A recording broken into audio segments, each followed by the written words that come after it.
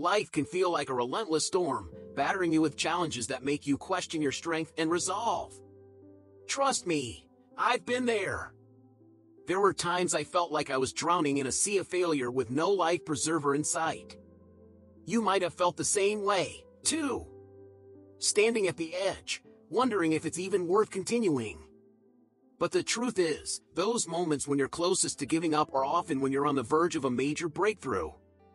It's in these darkest hours that you discover who you truly are. So, I'm here to share something different, not the usual pep talk, but seven lessons based on Stoic philosophy that can help you find that inner strength when you need it most. These aren't feel-good platitudes you've heard a thousand times, they are hard truths, challenging wisdom. They're not always easy to swallow, but they have the power to change your perspective and strengthen your resilience. I've used these stoic principles in my own life, and they've pulled me through some of my toughest times. So, if you're ready to confront some unvarnished truths that can help you stand tall when everything else is crumbling around you, stay with me. Let's dive into these seven lessons together. They might just change the way you face adversity. Your journey to inner strength starts now. Let's begin. Lesson 1. Embrace pain as a teacher. Most people avoid pain, but what if enduring it made you stronger? Pain isn't your enemy, it's your greatest teacher. It reveals your limitations and shows you where you need to grow. Stoic philosophy teaches us to confront pain, understanding that suffering is a part of life that helps us mature. Don't shy away from discomfort. Use it to fuel your resolve. I remember a time when I was in the deepest pit of my life. I had just lost my job, and everything seemed to be falling apart. The pain was overwhelming. I felt like I was trapped in a dark tunnel with no end in sight. Each day was a struggle just to get out of bed. I wanted to escape it all. But then I stumbled upon a stoic principle that shifted my perspective. Pain is a teacher. At first, this seemed counterintuitive. How could suffering teach me anything? But as I confronted my pain, I began to see its lessons. It forced me to face my fears and insecurities, to question my values and what was truly important to me. Pain became a mirror reflecting my deepest truths, pushing me to grow in ways I never thought possible. Pain strips away the superficial, it demands you face yourself honestly and without cover-ups. It's in these moments of intense discomfort that you discover your true strength. The world often tells us to avoid pain, seek comfort and ease, but the Stoics know that pain is an unavoidable part of life. Instead of running from it, they embrace it as a crucial part of personal growth. Think of physical training. When you lift weights, you tear muscle fibers, causing pain. But it's that process that leads to muscle growth and increased strength. The same principle applies to emotional and mental pain. It breaks you down, but it also builds you up. Every moment of suffering is an opportunity to become stronger, more resilient. There was a night when I felt utterly defeated. I sat alone in my apartment, consumed by feelings of failure. The weight of my circumstances felt unbearable. But in that solitude, I started to see the lessons that pain had brought me. It taught me about perseverance, patience, and humility. It reminded me that the biggest lessons in life often come from the hardest challenges. Embrace your pain. Let it guide you, showing you where you need to grow and what you need to change. Don't be paralyzed by it. Don't distract yourself or run away from it in fear. Confront it, learn from it, and let it mold you into a stronger, wiser person. Pain isn't your enemy. It's your greatest teacher. And remember, the strength you gain from embracing pain is the same strength that will pull you through your darkest hours. Lesson 2. The Power of Solitude In a world that celebrates constant connection, choosing solitude can seem like a radical act. But stepping away from the noise allows you to find clarity and strength from within. Solitude isn't about complete isolation, but an opportunity to reconnect with your inner values and purpose. When you feel like giving up, step back and embrace silence. It might be the most powerful move you make. There's a profound difference between being alone and feeling lonely. I used to fear solitude, thinking it was a sign of failure or social rejection. But it was during the most difficult periods of my life, when I felt isolated and disconnected from the world, that I discovered the true power of solitude. Solitude offers a unique opportunity for reflection and reevaluation without the influence of outside opinions and distractions. You can listen to your own thoughts and feelings, confront your fears, question your assumptions, and rediscover what truly matters to you. Think about it. We're constantly bombarded with messages that we need to be connected, to share every moment, to seek validation from others.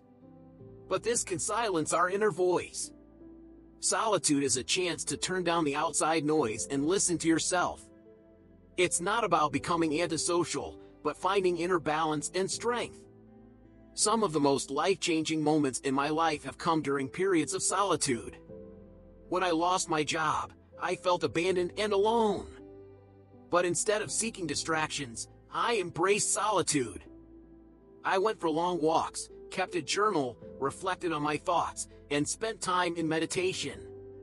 It was in these moments that I found clarity and a renewed sense of purpose.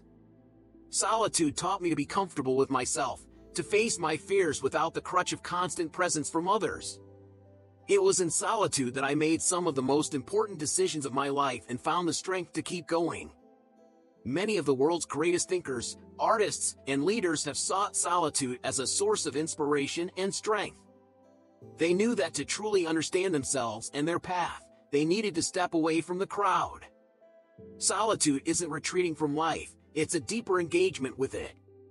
When you feel like giving up, remember to step back and go inward. It might seem counterintuitive in a world that values constant interaction, but it can be incredibly powerful. Solitude allows you to recharge, reconnect with your sender, and emerge stronger and more focused.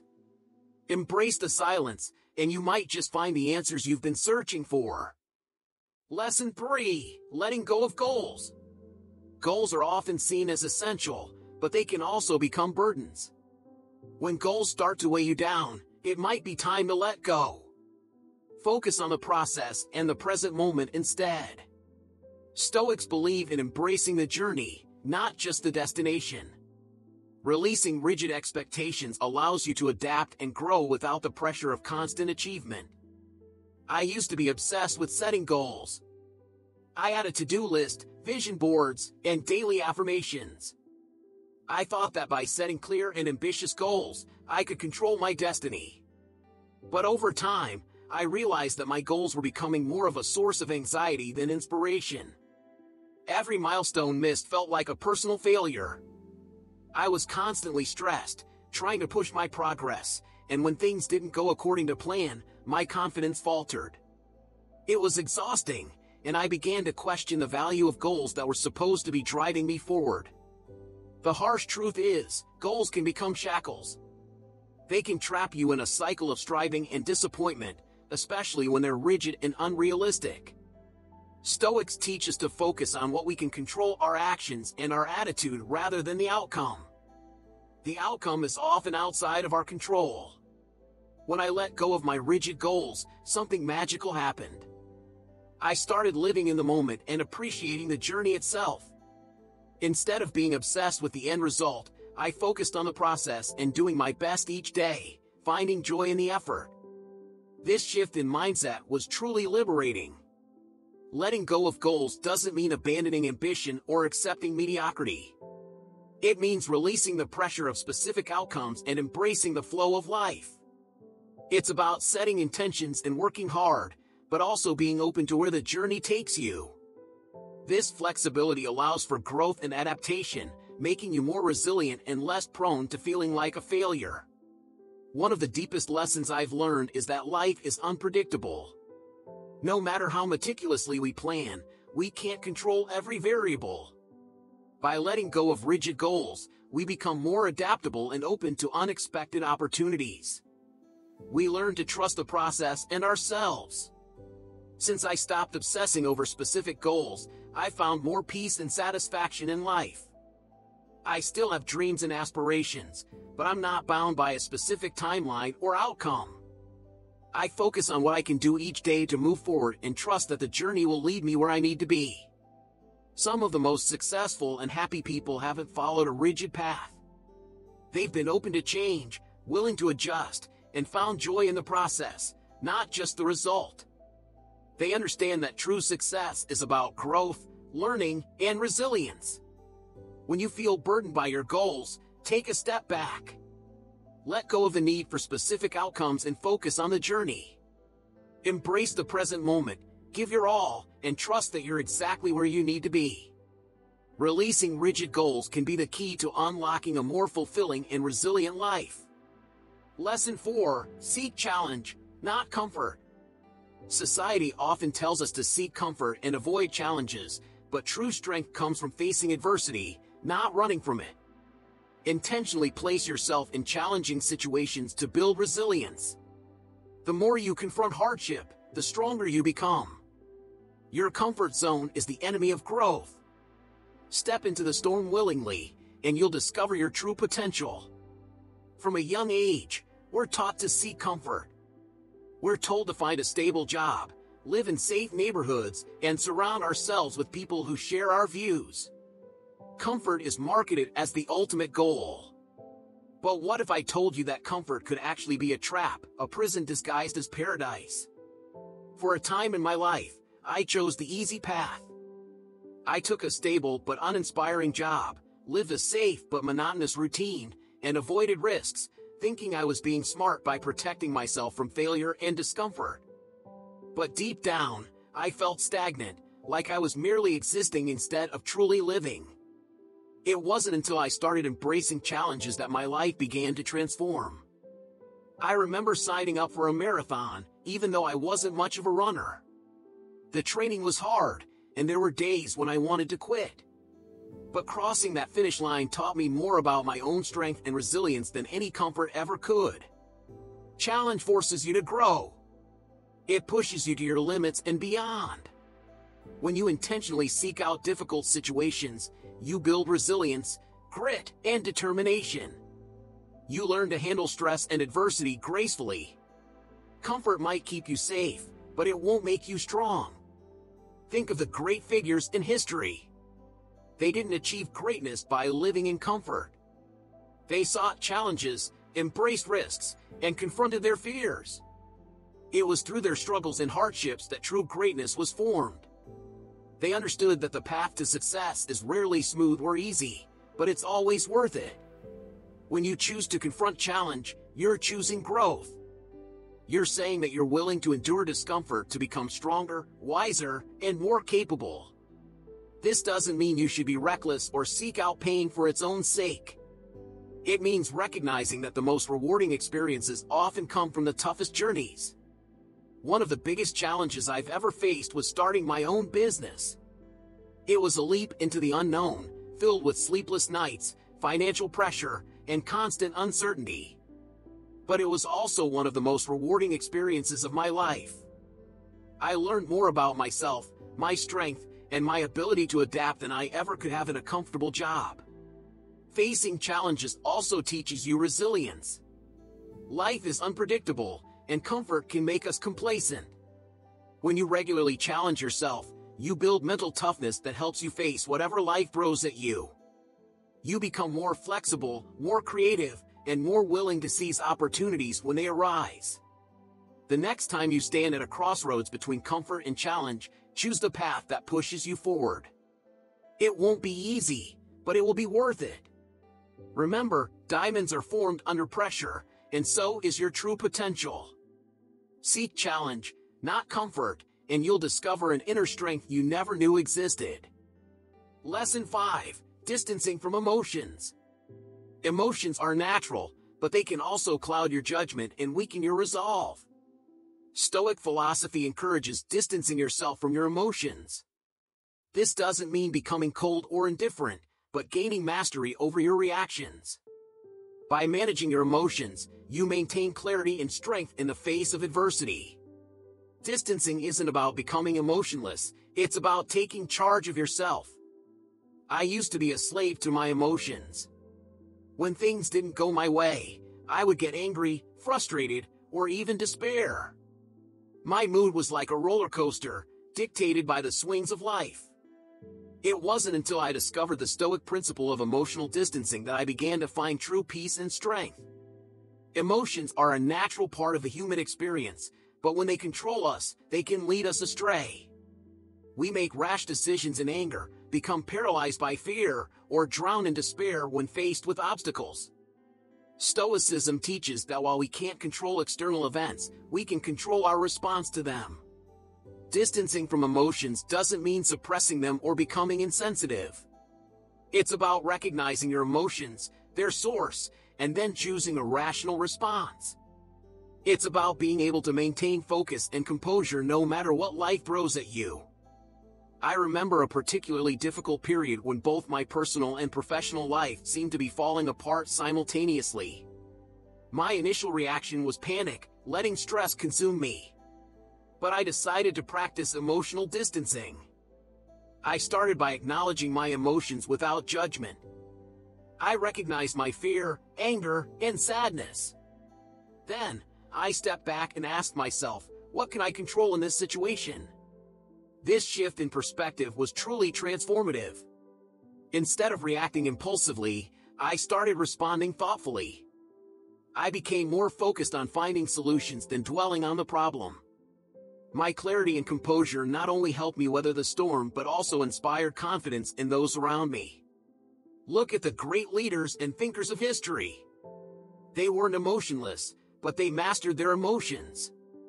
Marcus Aurelius, a Roman emperor and a Stoic, faced monumental challenges, yet his writings reveal a man who maintained inner peace through rational detachment. Nelson Mandela endured decades of imprisonment without letting bitterness consume him, emerging as an icon of hope and forgiveness. Emotional distancing is a skill that takes practice.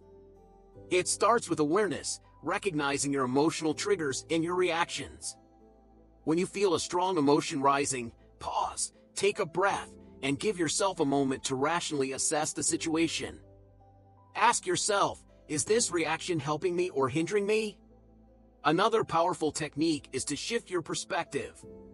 Instead of viewing an obstacle as a disaster, see it as a challenge or an opportunity for growth.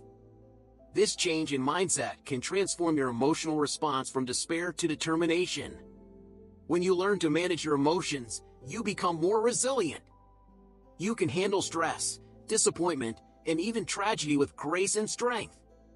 You become a stable pillar for yourself and those around you. Emotional distancing isn't about becoming cold, but achieving emotional intelligence and control. Lesson 6. Become your own advocate. Don't rely on others to validate your worth or fight for you. Stand up for yourself, even when it's uncomfortable.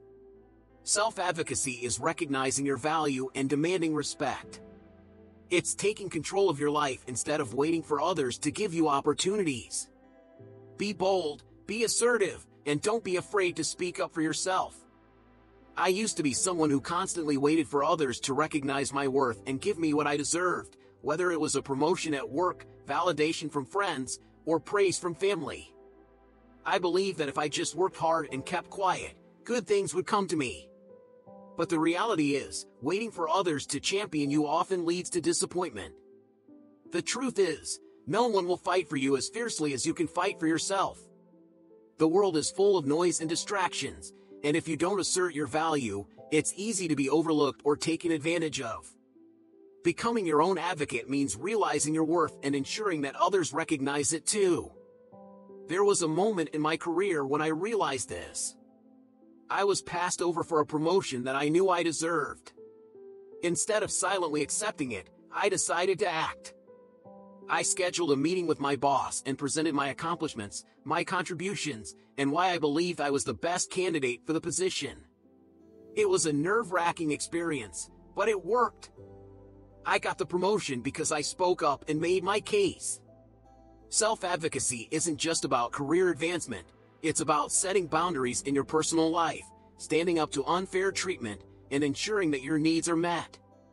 It's about becoming assertive in all areas of your life. This doesn't mean becoming aggressive or disrespectful, it's about being clear, confident, and consistent in what you deserve. Many people, especially those who are naturally introverted or conflict averse, find it challenging to self-advocate, but it's a skill that can be developed.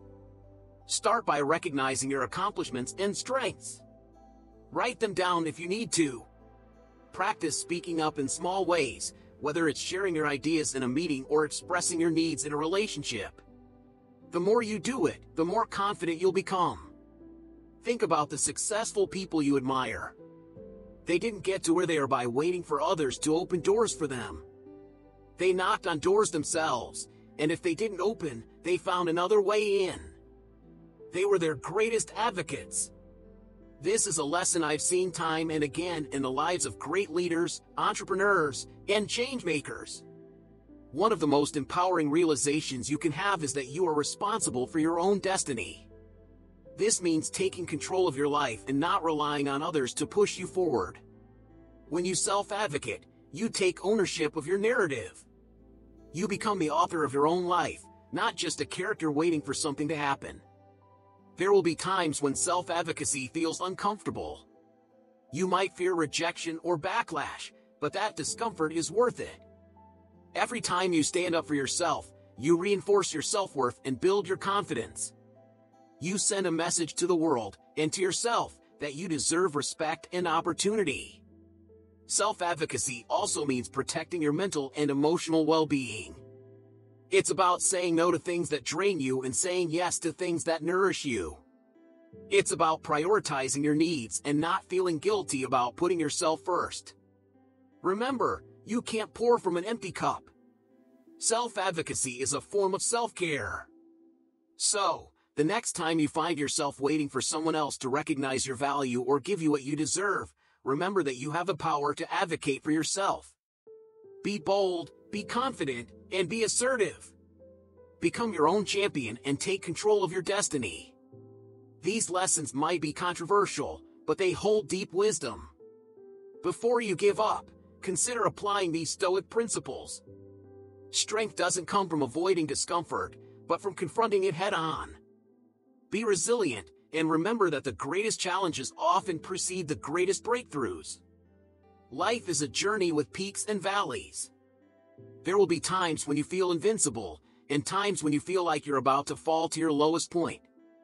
It's in those difficult moments, when you feel like giving up, that Stoic lessons can guide you through, reminding you of the inner strength you possess to endure, overcome, and continue to move forward.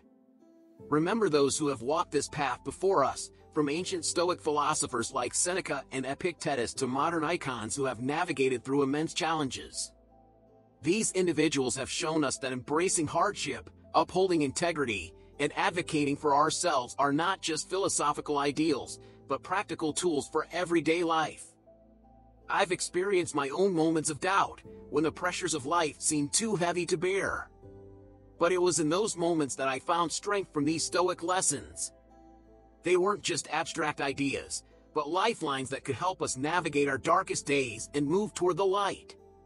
Every time you choose to endure, every time you choose to push through pain, you are writing a new chapter in your story, a story of resilience, courage, and triumph. You are not alone on this path. We all face challenges and hardships, but together, we can overcome them. Let these lessons guide you when you feel like giving up.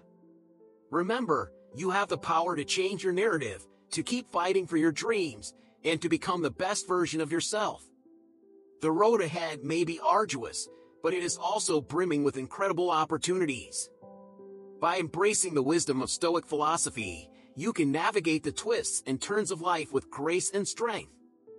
You can find clarity in chaos, resilience in hardship, and hope amidst despair.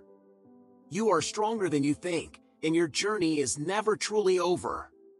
Be resilient, keep going, and embrace the journey. Remember, you are capable of more than you imagine. Keep the flame of hope burning bright, and let it guide you through the darkest nights. If these lessons have resonated with you, subscribe to this channel for more insights into Stoic philosophy.